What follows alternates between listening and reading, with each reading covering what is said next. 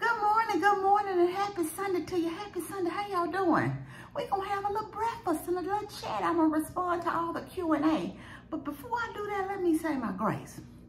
Heavenly Father, Lord, we come before you today, Lord, just to say thank you, God. Thank you for blessing us to see this day, one that we have never seen before. Lord, we appreciate it and are so grateful for it. Lord, we thank you for the portion of health and strength that we have, for the food that we have, for the shelter we have, Lord. We ask you, Lord, to bless those that are always affected by the storms, God, um, and the tornadoes. And Lord, those that are without power, Lord, we ask you just to restore power to them, Father God. Lord, we ask you, Lord God, just to touch those right now that are standing in the need of whatever they need might be. Lord, we know that you can meet their need, Lord God. And we ask you to meet them at their need and exceed it far beyond what they ever could think or imagine, Lord. We thank you, God, for our traveling grace to and fro, Lord God. So we know that this journey is not always guaranteed. We thank you right now, Father God. We ask you, Lord God, for mercy and for continued grace over our lives, Lord. We thank you for your love and comfort around us. We ask you forgive us for the sins that we've committed knowingly, Lord God, and unknowingly, God. Let us have a forgiving heart and love towards one another. We thank you, Lord, for the food we're about to receive, for the fellowship here today. In Christ's name, amen, amen. Amen, amen. So today I just got a little breakfast bowl and it has grits on it, turkey sausage. I cut up a couple of turkey sausage, some uh, scrambled eggs, and a little cheese on top. And y'all know my boy Frank's in the house. Somebody asked me about Frank's. Y'all know I ain't finna quit Frank's. This is my boo.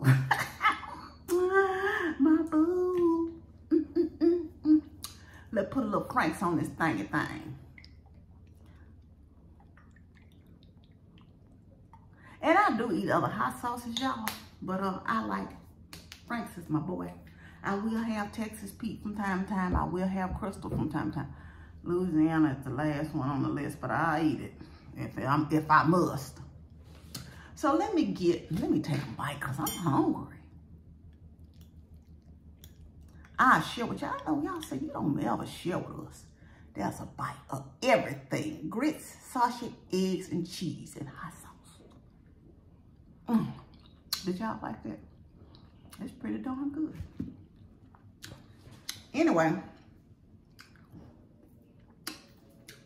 Carson Rain asks, Hey Carson, if money was not a factor and I was financially free, what job would I do or what would I be doing outside of the current occupation now? Are three things I've learned in my years on earth. Young, if money was no object, I wouldn't be going to work every day. And don't get me wrong, I like my job just fine. It's work. I like any job just fine. It's work. It is helping me pro provide for the things I need. I'm thankful for my job. You know, I could be doing something worse. I'm thankful. But I would not if if money was no object. I'm not one of those to say if I come into a whole lot of money, I'll keep working because I'll be lying. I would volunteer and only probably a couple of days a week, I'll probably go down and serve at the homeless shelter.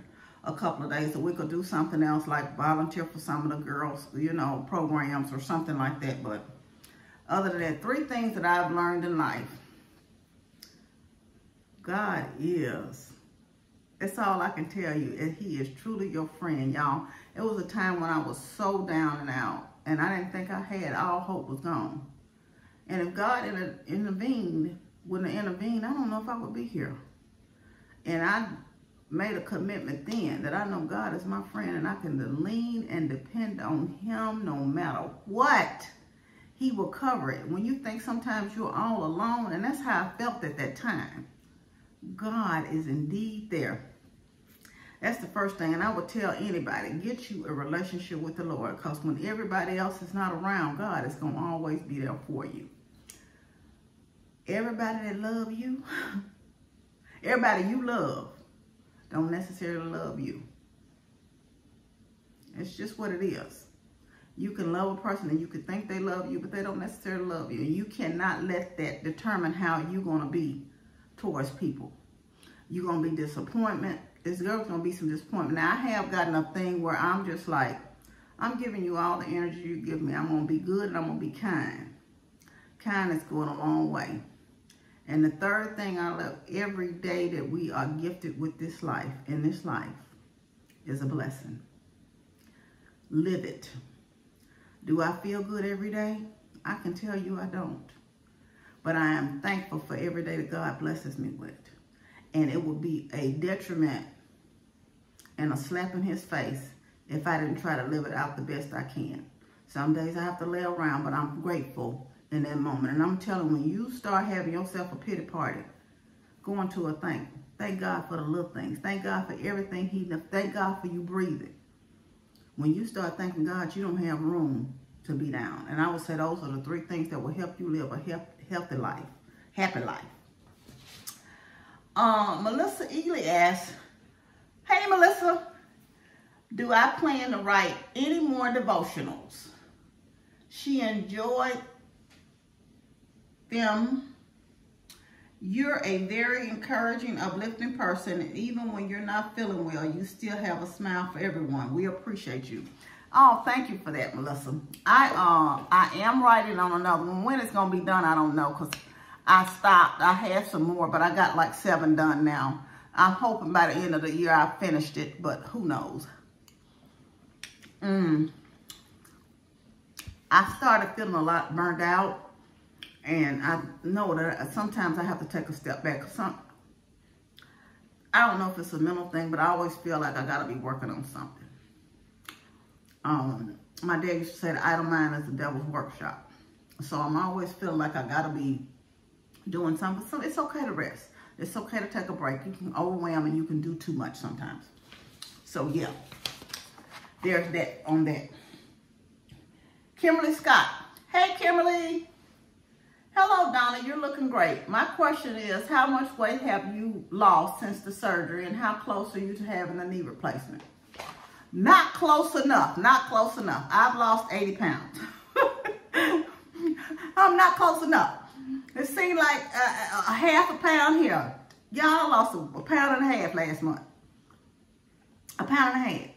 But I'm still losing, so I cannot. And I know that I, in, in reality, I know I probably could lose weight real fast if I just go on protein shakes and whatever.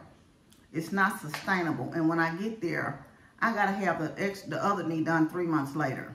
I got to maintain that weight.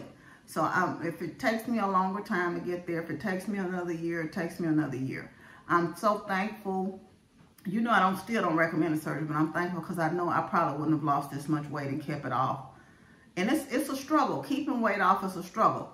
It was a time when I gained like five pounds and I lose it back. And I'm, you know, and then when it's that time of the month for women, you blow it up. I blow it up all the time, seven pounds. But I know realistically, you ain't gained no seven pounds overnight.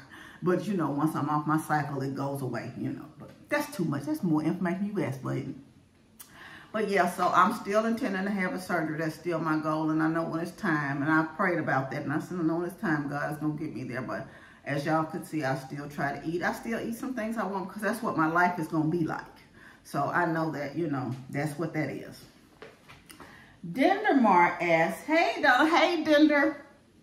Hey, Donna, you are so inspiring. I look forward to watching your videos. My question is, do you ever get lonely living by yourself?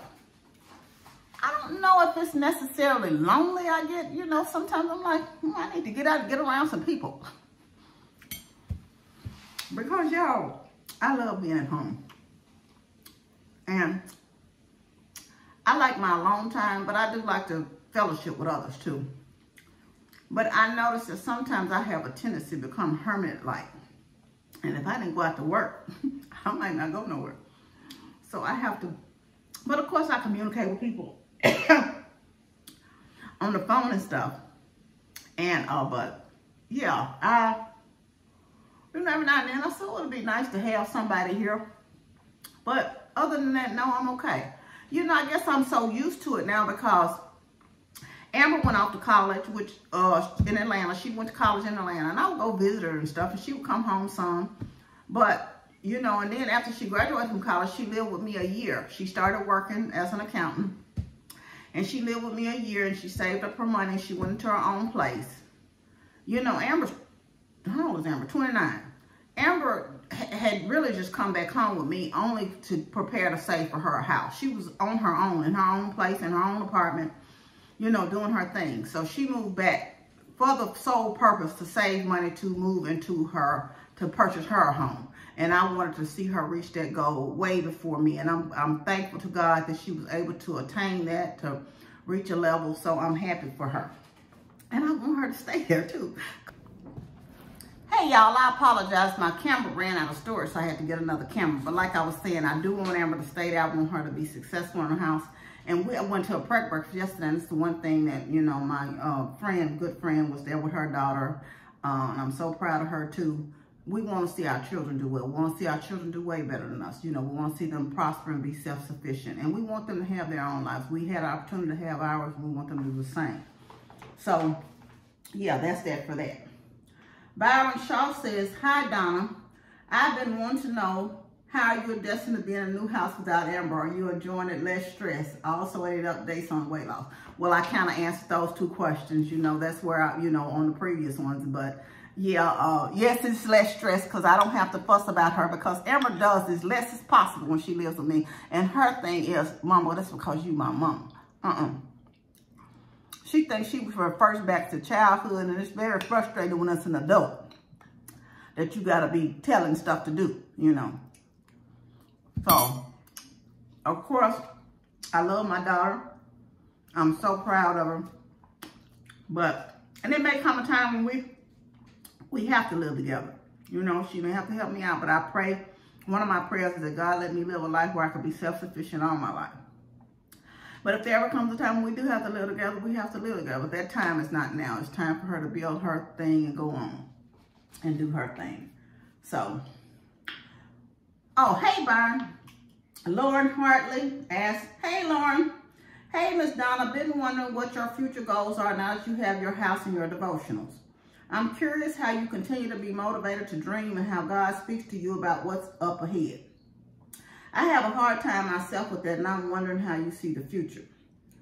And she said, this is also might be too personal, but remember a while ago you were talking about having to leave someone in the past and that you have been connected with for a long time. I'm wondering if that got easier over time. Time is a great manager to, uh, to heal all wounds. Yes, it does get easier. Do you have a grieving process for someone you love that's been in your life for a long time? Most definitely. I would be lying if I said not. But sometimes God removes people for a reason. And what you need to realize is those people go on living their life. Honor God by living yours. Being the best person you can be and continue on. When you think about that person, still after all these years, every now and then the person will pop up in my mind. I'll be like, I wonder how they're doing. I hope they're doing well. But it's not long to be with them.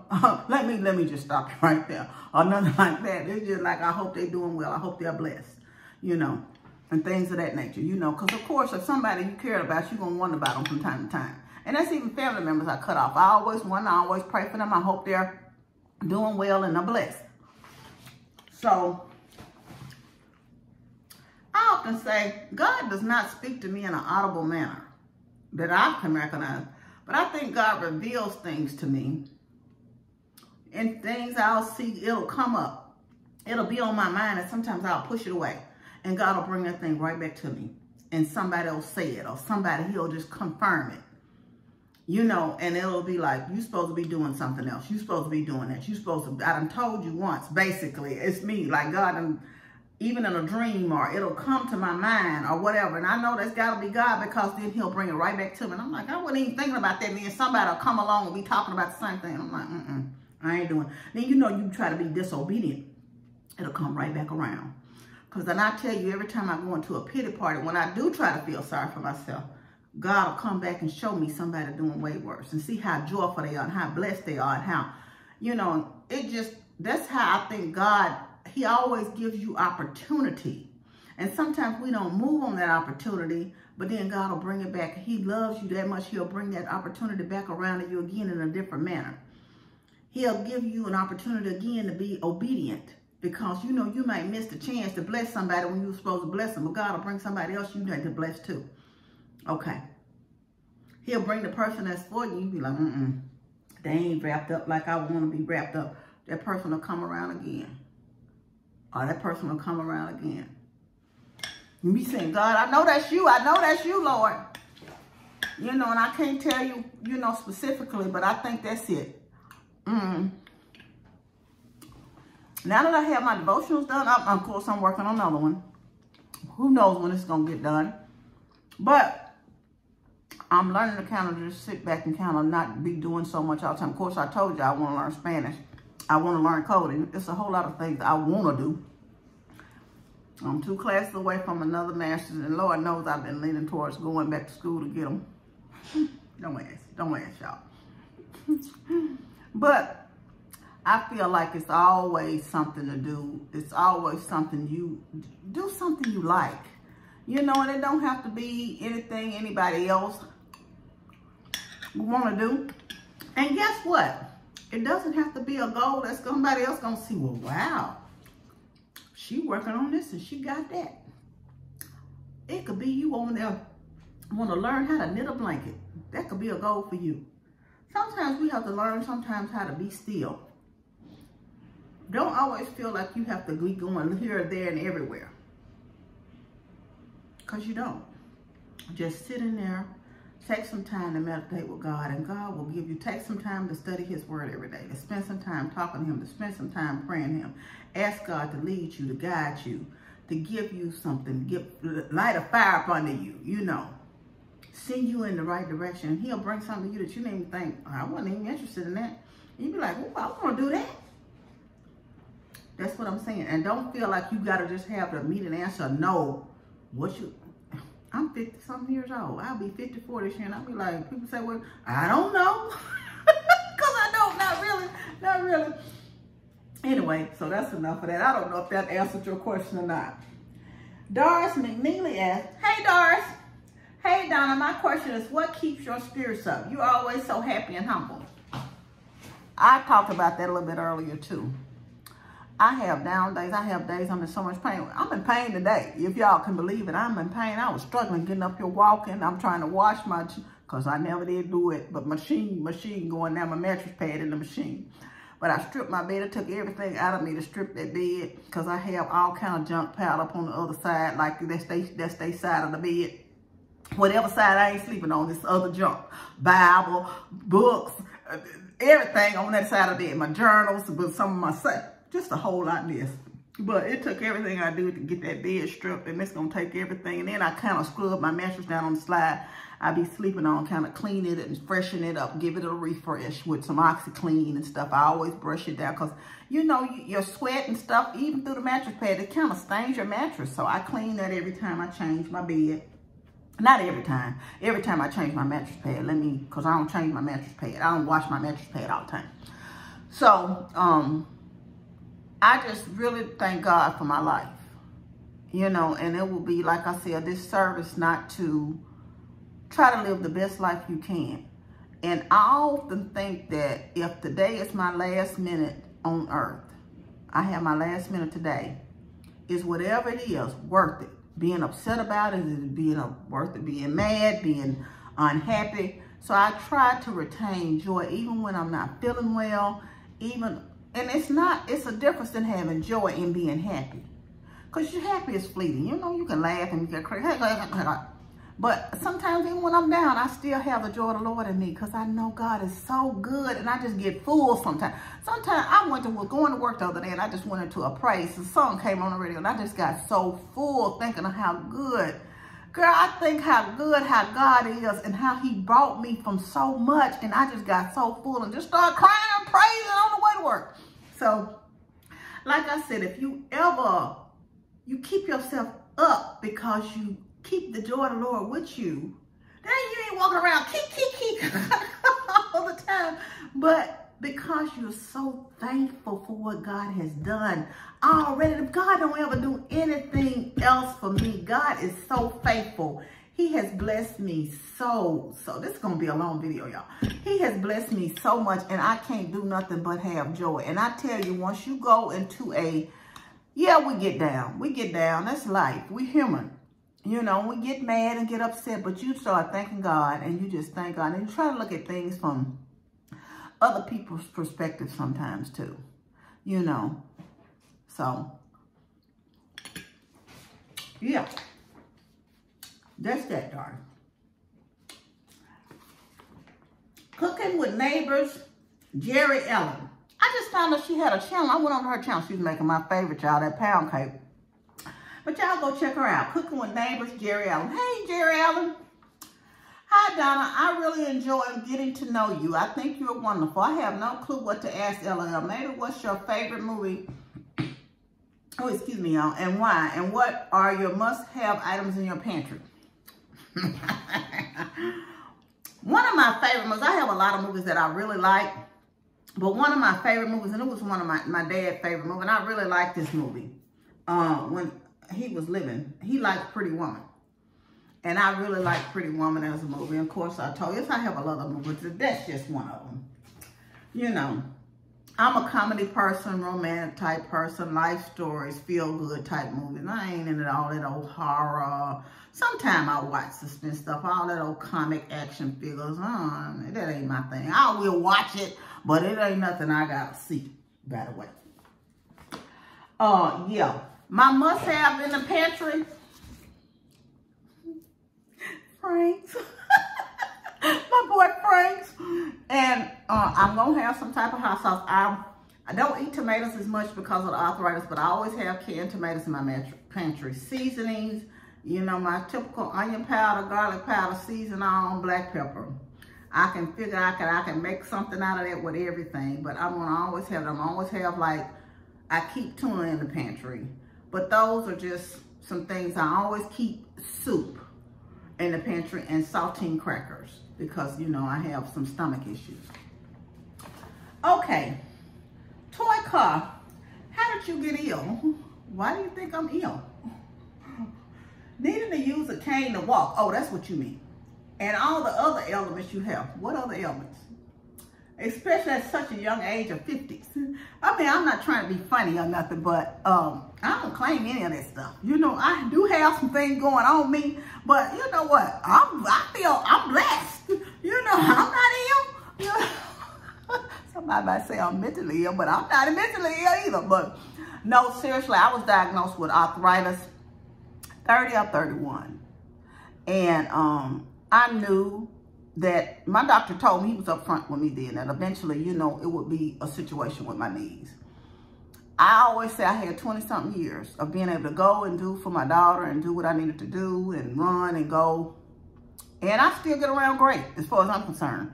You know, yeah, my knees hurt and I almost fell in Walgreens. I don't, luckily I don't have a vanity issue. So walking with that cane at 50 don't even bother me, honey. I'm like, bam, I might do get up on the dance floor and do a dance with my cane when I can, when I feel good. And when I don't feel good, some days I don't need the cane. Some days the pain, I have pain, by the way, every day. It's just the level. And when the weather bad, and it seems like when it's that time of the month, with my hormones and stuff, it gets out of whack. It's on 15, but I just deal with it because I can't allow that to stop my life. Now, I don't know if diverticulitis is anything to do with age. So that's a lot of things. I'm lactose intolerant. That's a lot of things dealing with my stomach. I have to watch, you know, the things I eat. And I can tell when it's going to not too right. So then I kind of take a step back, eat the crackers, and do what I need to do. Eat the little soup and do what I need to do as far as that's concerned. You know, I don't, um, you know, that does have, people of all ages have that, you know, and I don't know where it came from. Uh, the doctor couldn't tell you, but I'm thankful. And y'all, I kid y'all not, go see about yourself. Because when I got real sick, it was the month that Amber graduated from college. And I'm so thankful because God allowed me to go to her graduation, have her dinner, come back here to Memphis. And I kept feeling sick. I couldn't really hold any food down. And I kept, I was hurting. And I kept saying, well, no, I'm gonna go to the doctor. And I told, I was so sick the week before Memorial Day.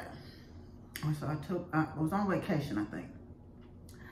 And I said, well, you know, I got to go back to work Tuesday. And what I'm to do is, I think I'm to go to the minor med. Y'all was so sick. I could not hold food down. I was in so much pain. And I end up going to the doctor, going to the emergency room. And I was so discombobulated because I drove myself. I ended up somewhere else that wasn't on, I had to call one of my friends, somebody at the hospital, they had to actually call somebody to transport me over because I managed to get, I had to stop and sit down to get in the building. I managed to get to the building. They got somebody to transport me to the emergency room. And I called one of my girlfriends. I said, girl, I'm in the hospital somewhere. I don't know where I'm at. I need some help. And so I end up getting diagnosed and he told me if I would wait one more day, I was septic, the thing was leaking in my system. Oh, it just was hotness. And I thank God, I stayed in the hospital nine days. And But I'm very cautious of, you know, how I eat, what I eat. You know, I changed my eating habits way before the weight loss surgery. So as far as that, I have some issues dealing with female issues, but I've had those for a long time. And um, one day, God is going to let me go on through menopause one day, but it's not right now. I thought I was there, y'all. I had, what, three months without cycle. This is TMI. But I thought, they said, oh, no, you have to do it. Yeah, no sooner she say you have to do a whole year, here come that baby back in full effect. And it ain't stopped since. but I have some issues dealing with my cycle I've had for years. And um, I think some of these are predisposed to uh, being an African-American female, some of the things I deal with. But other than that, no, I don't claim anything else, you know, and so I'm fine, you know. But like I said, nothing I'm dealing with is age specific. So I don't know how old you are, you know, you could have some of these same issues. So, and people of all ages I know get knee replacements. So I'm thankful. Like I said, I still have the mobility that I do have that I can get up, drive for myself, do for myself. Walking with a cane ain't no big deal to me. Anyway. Dorothea Murray, Murphy. Hey, Dorothea. Dor Dorothea. I hope I'm pronouncing that right. Hey, Donald. I've been watching for a long time, but I've been watching a couple of months. My question is, have you ever considered not eating meat for a week to see that the pain in your knees stop? I have those weeks from time to time. I always have a meatless day during the week, but I don't know that what I eat, I don't eat a lot of beef and pork, period, because that was one thing that the doctor told me to eat sparingly. But I've gone without that, and I don't know that it, you know, that where my knees are, my knees are bone on bone. And that's a, and then on top of that, it's arthritis. So I don't know that, that, you know, that it helped me at all. I couldn't really tell the difference, to be honest with you. Because like I said, it's some level of pain there every day. Since I lost the weight, I have a lot more better days because I'm able to stand in the kitchen and stuff a lot longer because I think it's not as much pressure on my knee. And I do think that the weight kind of, I may have, I was going to eventually need the knee surgery, but I think the weight, me being such a heavy weight, because my highest was 360 pounds. I do think that speeded up the, the, the degradation of my knees, if, if that helps. Kathy Quick, you look great. Was was wanting to know if you're still doing knee surgery. Also, your home is lovely. Oh, thank you, Kathy. Um, yeah, I'm still going to do the knee surgery like I talked about that in previous ones. Whenever God blesses me to get to that point, I'm going to do it. GJ. Hi, GJ. Hi, Donna. Do you have any future dating plans? And if so, what qualities interest you in a potential suitor? you know, um, I really don't have a lot of dating plans, to be honest with you. I was telling my sister the other day. The places I go are not littered with single men. First of all, most of the time they're gonna be with their wife or whatever. So I ain't looking for nobody, basically. If God blesses me with somebody, fine. I told y'all, um, I do believe in marriage. I do believe marriage is great. With that said, I also believe the single life is great. I've been in both. I've been in a relationship. I love being single. I love doing what I want to do. I love not having to consider anybody else. I have a strong personality. I'm very nice and I'm very sweet, but I have a mind of my own. So it's going to take a strong man that's in his own self, if you understand what I'm saying, who doesn't get offended by me having an opinion, because I'm going to have one. Believe you me, I'm going to have one. But I also know how to sit back. I'm not trying to be a man. I'm not a man. So God blesses me with somebody. He blesses me with somebody. I used to say they were going to have to come to my front door because that's really how I met my husband, my, my last husband. but in truth, they really ain't got to come to my front door because I might not even answer the door. Now I got the ring doorbell. I'll be like, oh, they can, they can leave that package out there. but one thing that is a must, all else, not, not talking about that, they must have a relationship with God. They must love the Lord. They must honor him. You know, I need them to have their own spiritual relationship with God. Because um, I need somebody who know and can cover me in prayer, who can go to God for me like I can go to God for them, who don't have a problem with me if I say I can sit down and talk about the goodness of God with, who know that without God, we wouldn't be here. I need somebody who have that foundation in their life. I need somebody who is self-sufficient. They must work. They must work or be doing some or getting some type of income because, baby, I, I am not a sugar mom. I can't do it. I need somebody to understand that it takes a partnership to make something work and the outside of your home is not where it's at. And I'm not dating for dating purposes because I'm celibate. So if I do start the dating, and that's one of the reasons why I kind of push back from dating, it's with the intent of marriage.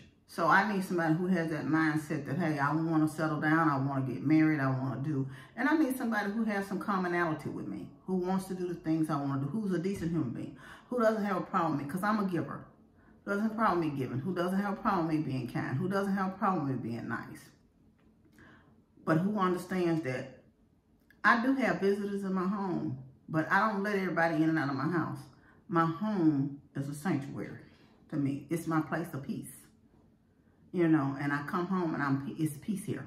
I don't want nobody who trying to disrupt my life and disrupt my home. So if they don't have peace on the top and they don't have kindness in their heart, you know, and love in their heart and want to get along, to get along with everybody, can't say nothing to them, you offend that, that's not the person for me. Because I'm not, I don't have time for all that offense stuff. You trying to be in an uproar and keep yourself upset all the time. And that's not for me.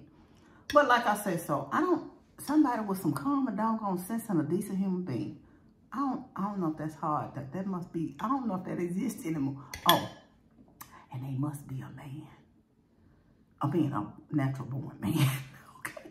Yeah. All right. Uh -huh. Yeah. yeah.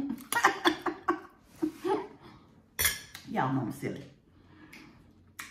Marie, oh, Coldfield Sharon 52. I'm gonna say your name is Sharon. Hey Sharon. Hi Donna. Are you gonna keep your hair cut short? Cut look very nice on you. I can tell you're losing weight. Keep up the good work. Sharon, this is really the fourth time my hair has been cut down. Ironically, I cut it down. My daughter graduated from, from high school. And she didn't really want me to go because my hair had been long. She didn't really want me to go to her graduate. What that was studying. I said, girl, it's too hot. I'm not putting on no wig. So I think she just got used to it when she graduated from college. Well, I had to cut it down again after the first time because it was going back funky. So I cut it down again, fairly close together. Then when she graduated from college, I let it grow back out and it grew out long again. But, so I cut it back down when she graduated from college. I was heavy then. I was 359.6, which is 360 for all intents and purposes. I was like, I got this.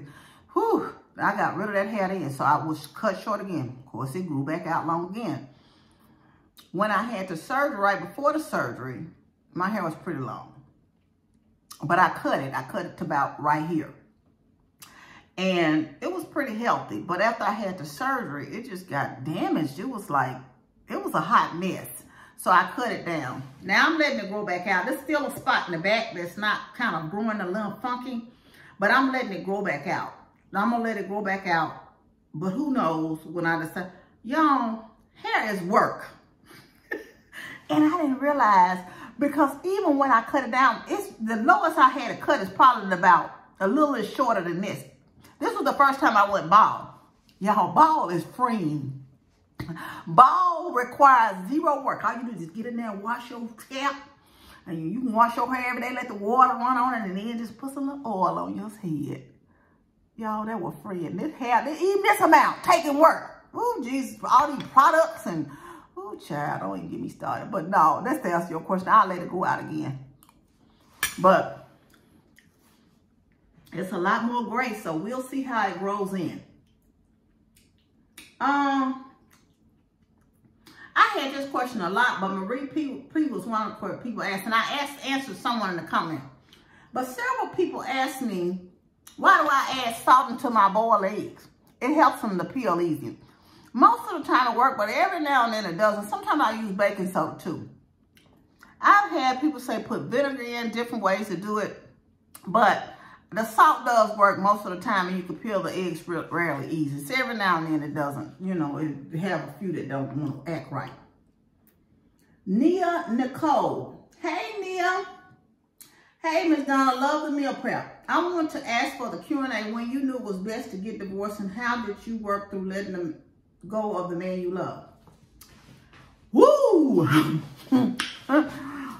Y'all, first of all, I'm going to give a shout out to my husband, Derek, um, my ex-husband. He's remarried, you know. I want to give a shout out to him. Derek was a good person, came from a good family. I knew on the wedding day. I knew on the wedding day that I probably shouldn't have got married. And I actually told him, I don't think I want to do this. And I had been up preparing the food. I was going to work and I had my daughter. I was so tired. And he said, no, baby, you're just tired. And I'm like, yeah, yeah. Maybe he right. Maybe I'm tired. You know, so I will always have love for Derek because I, I, she, he's not my daughter's biological father. He, I met him when Amber was born. She was a brand new baby, a infant, I mean a few weeks old at my doorstep. He was, somewhat, one of my friends brought him over there to teach me how to drive a standard shift car that I had purchased and didn't know how to drive. oh, Lord have mercy. Because I didn't get my license to after Amber was born. So, yeah, so that's that. But uh, that's how I met my husband. And he was always there for me. He was always kind. He and I are very different. And I think that different complements each other. But the way he wants to live his life and the way I live is two different things. And I think that you do each you do your person a disservice when you know you want to live one way and another person wants to live another way. And I don't think it would, I don't think he would ever been happy with me. And I don't think that it would have ever matched. He stayed in my daughter's life. He was good to my daughter. Now, my daughter knows who her biological father is. And I'm close with their family as well. It's not like she didn't know them, you know. And they were at my wedding. You know, his her, her, her grandmother and um, great aunts and stuff was at our, at our wedding. That's the relationship we had. But, like I said, he was a good person. And I will always have a love for him. But not like a love to be in a marriage. Okay?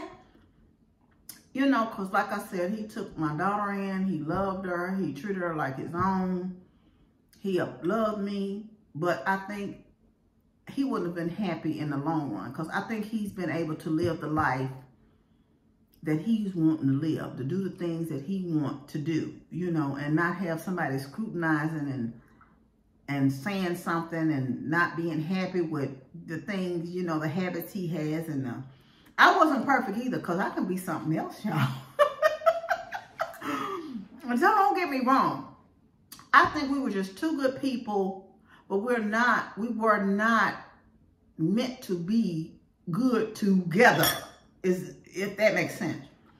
So when I left it was not an issue of leaving because, and I still loved him then and I still had some guilt because I felt like my marriage, when I got married, it was going to be, my marriage it was going to be forever.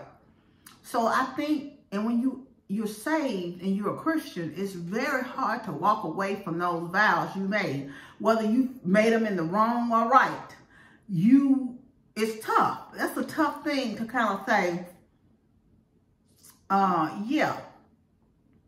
You know, but I knew that I said, I can't, this is not something I can see for my life for the rest of my life. And he's not going to be happy with me for the rest of his life. It's best if we part ways. But like I said, I would always be his friend. I would always care about him. I would have some love for him because of the type of person he was. He's a good person. I gained a great family, extended family from it. My mother-in-law had a heart of gold. She called me when we got divorced and said, you're not going to divorce us too, are you? I said, no, ma'am, I'm not. My daughter, they accepted as her granddaughter, as a grandchild, of cousins. It was never any difference towards her.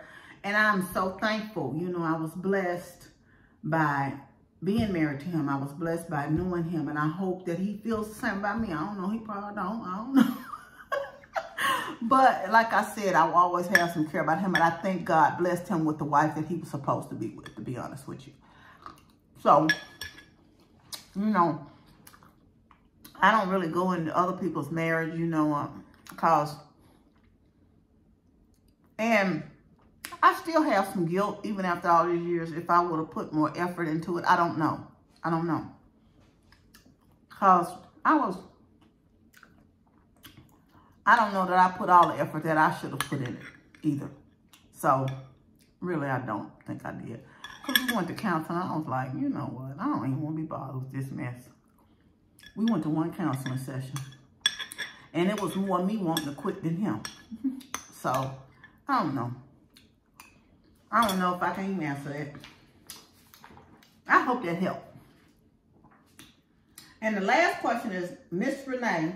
Hey, Miss Renee. Hey, Auntie Donna. I've been slight, silently watching and supporting for a few months now. I just want to say you are a joy to now have in my life. I truly enjoy you in every video and the great conversations. Love you, Auntie. Also, to what you're saying about next Sunday dinner, I would love to know any old school tips, recipes, and stories. Child, I don't really have an old school. I, I always talk, I'm always talking about something here. So keep watching. Just keep watching. But what I will tell you is live your best life. Show up and do your best. Do your best for you in your life. Be kind to people. Be kind to yourself. And I leave this video with everything all the time. Know that you're never alone that you are truly, truly loved. I love you, but God loves you the most. Always be kind to yourself and others. Be joyful and be blessed. Y'all know I love you. I thank y'all for the questions and answers. If I didn't answer somebody's questions or missed somebody's questions, just drop it in the comments and let me know. But I thank y'all for joining me for Sunday breakfast for a change. Anyway, y'all enjoy the rest of your day. Make it count. Have joy in your heart. Love you much. Bye.